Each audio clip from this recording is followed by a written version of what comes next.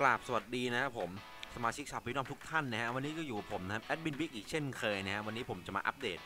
เรื่องเกี่ยวของกับทาง YouTube นะครับเพียงเล็กน้อยเป็นเรื่องแค่สั้นๆ เล็ก ๆ น้อยๆนะครับผมคือเรื่องเดิมที่เคยพูดไปเรื่องเกี่ยวกับว่า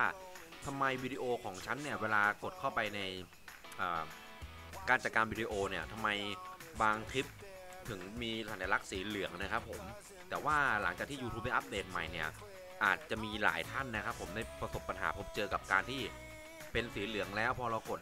ยื่นอุทธรณ์ไปเสร็จปั๊บมันกลายเป็นสีเขียวสักพักหนึ่งก็กลายเป็นสีเหลืองอีก อันนี้ไม่ต้องตกใจนะครับผมอาจจะเป็นทางด้านของการอัปเดตล่าช้า หรือว่าบั๊กของทาง YouTube นะครับผม ซึ่ง